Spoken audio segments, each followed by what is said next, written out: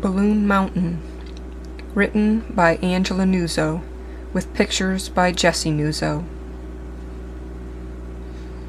We've all heard stories about socks getting lost in the clothes dryer, and car keys that are never where they should be, even eyeglasses and pairs of mittens that are set down never to be found again. But did you ever hear the story about lost balloons? Have you ever wondered where lost balloons go? Well, the story I have to tell you is that of Balloon Mountain, the tallest mountain in the world. Balloon Mountain, which is higher than any other mountain on earth, is surrounded by trees and many more smaller mountains. It reaches far into the sky and even into the white, puffy clouds. Now, this mountain looks like most other mountains in the world. There are smooth spots and jagged spots. There's grass and dirt and stones. It even has a wide stream running from its top to its bottom. From a distance, this mountain looks like any other mountain. But from up close, there is a difference.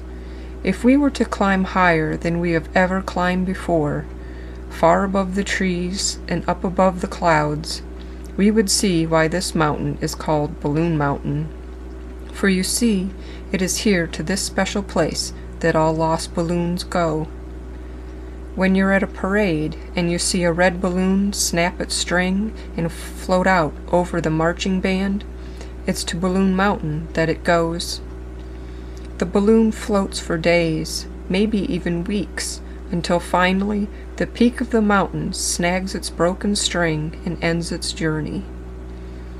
The rainbow colored balloons released at the circus, heart shaped balloons carried by clowns at the fair, good luck balloons floating above the church after a wedding, the metallic balloons delivered to patients in hospitals even the big, shiny balloons tied to the table at your outdoor birthday party.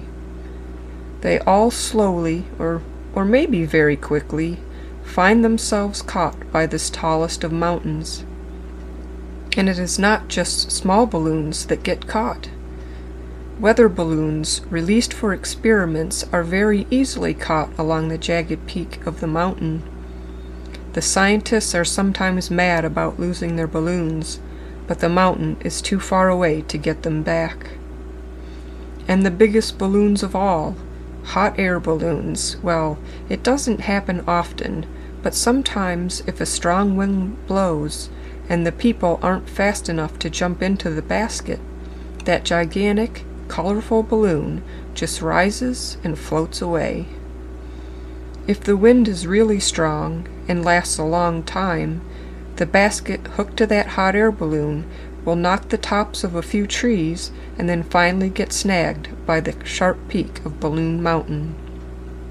Now, not many people have ever seen Balloon Mountain, but we all know that it's there. So if you should accidentally lose a balloon someday, don't worry about it being lost forever. You can always find it on Balloon Mountain.